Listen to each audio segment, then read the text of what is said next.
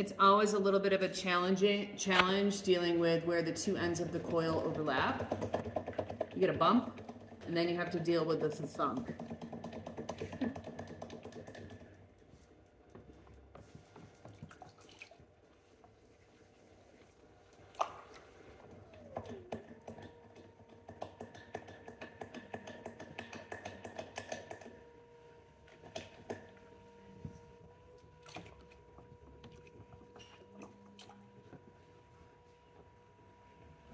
All right. So I'm gonna need to add something right here onto this piece to finish throwing with it. So what I'm gonna do is make a thick cylinder and I'm gonna add it right here. So I need a caliper measurement. I, it doesn't have to be as exacting as a jar measurement. What I do wanna make sure is that I have an ish. And I wanna go right over the center of that pot.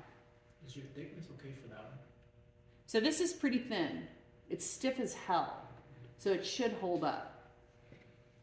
So I can kind of walk around the thickness as if I have something that's really, really stiff. So after I caliper this and get an ish that I'm happy with, we'll pass this around and you can feel just how stiff it is. This is a moment when I want that stiff as an MFer.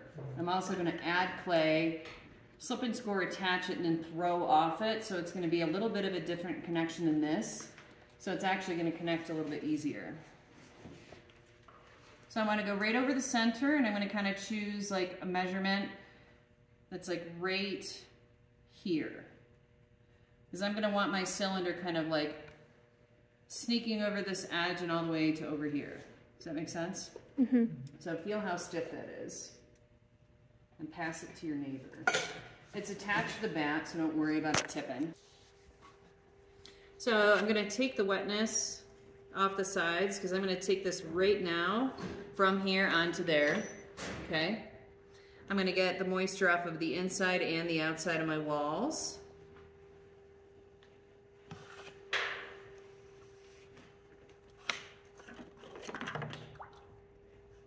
I'm gonna choose, oh, I need to make that a little more straight up and down.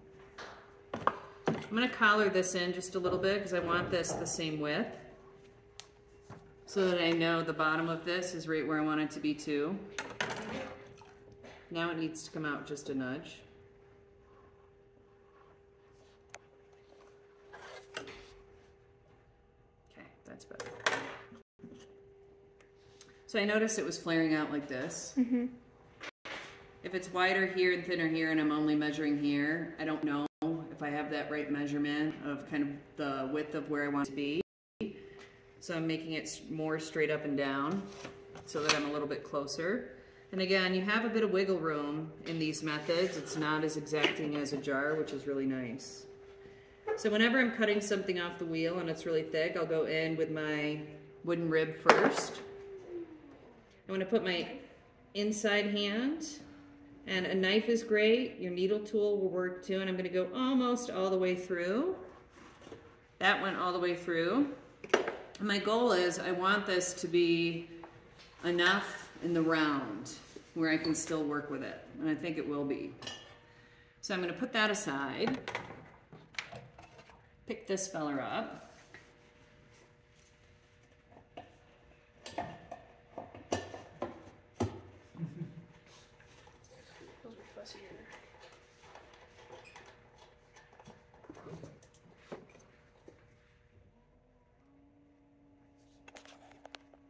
Lazy scoring.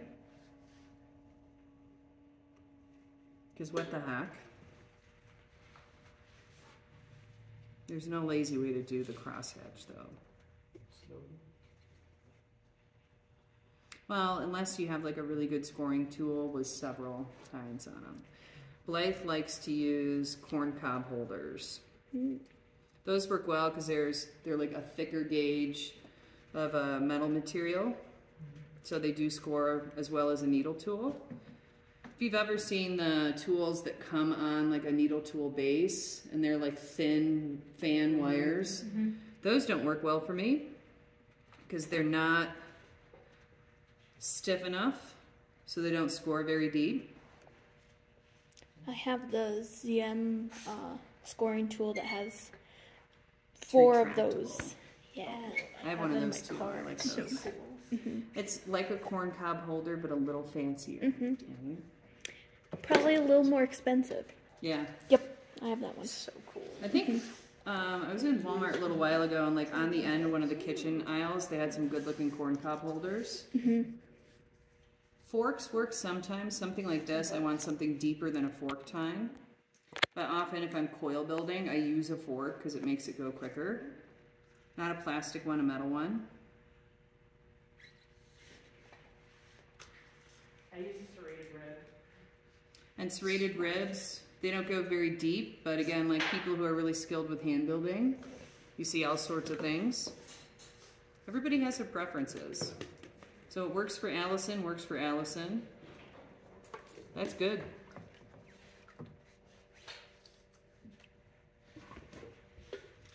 All right, so I can't I can't handle this too much. What I am gonna do is just very carefully pick this up, and I can pick it up without it deforming right now, straight off the wheel because it is really thick, okay? And I'm dealing with this very gingerly. I do wanna score that bottom a little bit, and I'm gonna be more careful to just maybe not throw this out around. This is not leather hard clay, it's super soft clay I just threw. So I don't have to be as aggressive to go deep with that scoring.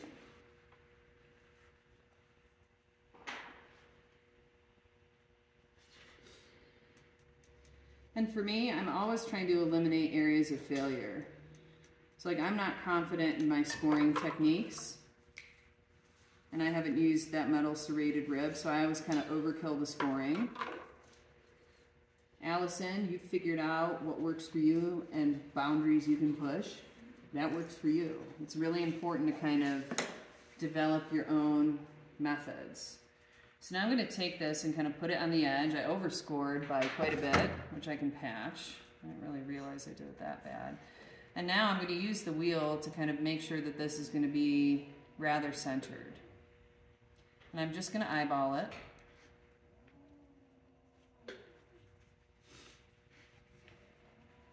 And I'm going to like keep throwing with this so I don't need it like perfectly centered centered. I just need it to a point where I can start working that clay together.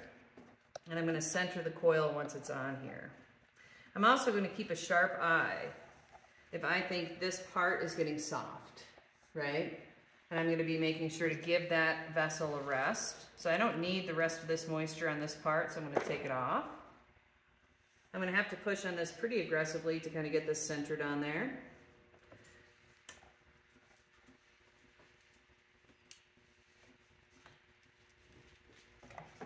And my hand can fit in this, which is helpful. I really can't do this very well unless my hand can fit right in there. So I'm gonna bring that clay just down a little bit. And this is why you need nice setup clay. I'm gonna be kind of working it down towards that connection point just to make sure that I'm really connected. And then because I started with a centered piece of clay, I'm gonna be able to work with this coil, throw it right off the piece, and get it centered just by lining my hands up, right? My fingers are lined right up on each other.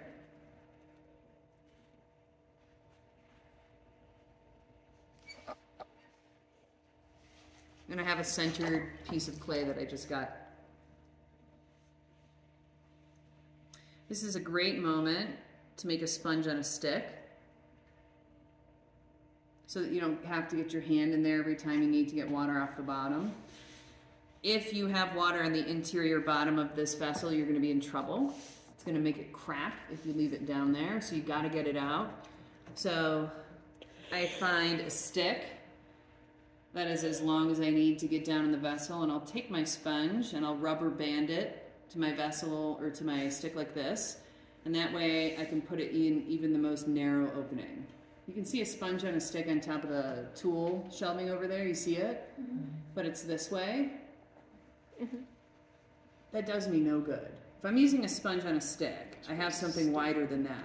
right? So I recommend just like rigging up your own, hair tie, rubber band, whatever works. So now I can work with this. I'm gonna collar it in first. Just pop my speed up.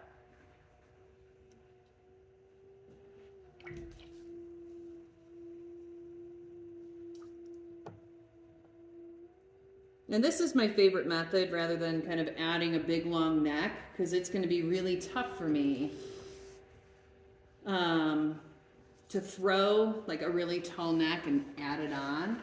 Here, I'm going to be able to kind of work with something that's going to be centered and in tune with the vessel that I've made.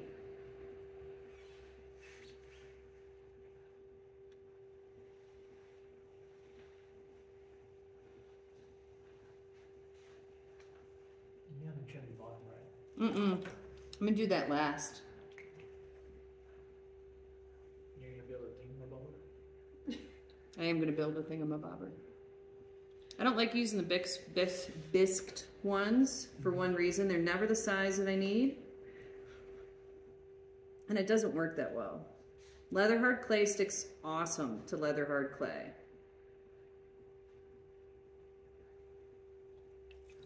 I'm also going to have to build a sponge on a stick. Got an extra hair tie if you want one. Awesome. I don't think I have a lot of hair ties with although my hair's getting to that length again. Mm-hmm. I can't help you. I need a haircut. I used a paintbrush last night, so I would say I probably didn't have a hair tie on me. So the taller I want something, I'm going to be kind of at a conundrum. If it's really narrow and I want something really tall, I know the last move I'm going to be making is pulling it, right? So to get the height, you got to collar it in, but I can't get my finger all the way down in there, right, anymore. Mm-hmm. So you've got to balance pulling and making your clay thinner, kind of knowing maybe collaring is going to be your last move.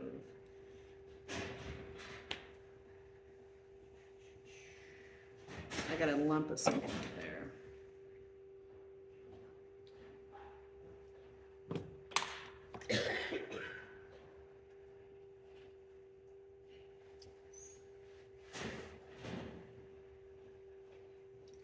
I also know, like, once this neck gets leather hard, I could trim it, right? Mm-hmm. I know it's thick. You guys get the the gist. right? so something when you're kind of collaring over and over again is it can add a little bit of motion to the clay, kind of wanting to spin upwards. So whenever I'm doing something like a spout or a neck, I go down a couple times. Don't worry, we'll get her back. Scaring me. I think it's gonna get thick. I know, I'm afraid it's gonna fly off. So I know I have like a pretty thick neck, which is okay, Been there, done that. but I want to move down a little bit too. And that's just going to unwind it. Oh, it's all right. No, it's scaring me. Make sure you have nice moisture on the outside. It's still centered. I was just unwinding it. Right? You're good. Why are you the one like?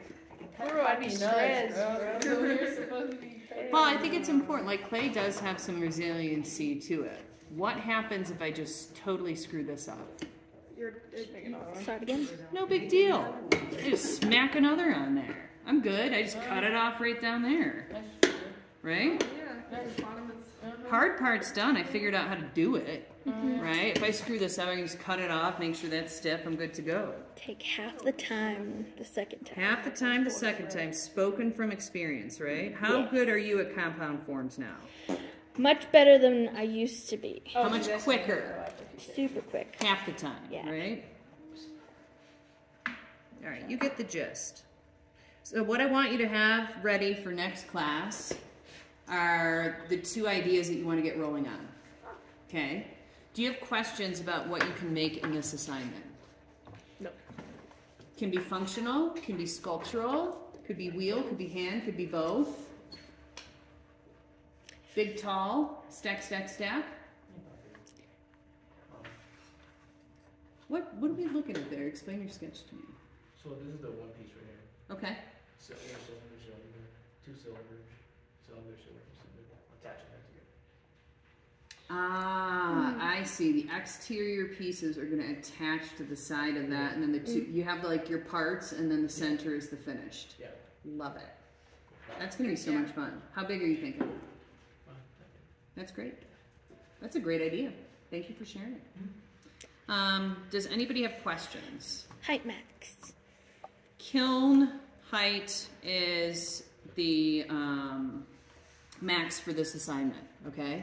So 24 and a half inches high is the max, 25 inches wide is the max. We want to get them through really quickly, so we're going to schedule them in an electric kiln. Bisque kilns and gas take a lot of time, and I know I'm not going to have the ability to like fire off a gas bisque kiln for quite some time. So I want to get these out and available to glaze quicker. So we're going to go electric kiln dimension. Oops, I cut my finger. Um, electric kiln dimension is our max. I like that form up there. Is that a picture? That's a picture? The one on the very top? The one on the right. On the right, Up yeah. here, all the way up. Yeah, that's a picture. Picture it is. So before I call this done done, I'm gonna have to go back in and get the water out. That's the chimney. Okay. Mm-hmm. So I know I have to do a sponge on a stick, and I'm gonna kind of make sure this is stable and centered before I call it done. If this is my final shape, I can wire it loose. Mm-hmm. When you wire something that is leather hard clay, it is gonna be tough. It's gonna kick back at you. So my advice would be cut in as level as you can down here with a knife. Finish with a wire tool, because when you try to wire leather hard clay, that wire is going to pick up, just like you saw that happen in that one component. Mm-hmm. So wiring leather hard clay is really, really tough. Just know that. Questions? If the bottom is stiff enough, Yeah, is it a good idea just, just put that safe and like put the water out? yeah, that would work. Or that would work, okay. But But did it go all the way out, and then when I turn it back over, is it going to go back down? I'm never sure of that, so I go for a sponge on a stick. If I know I have a small amount of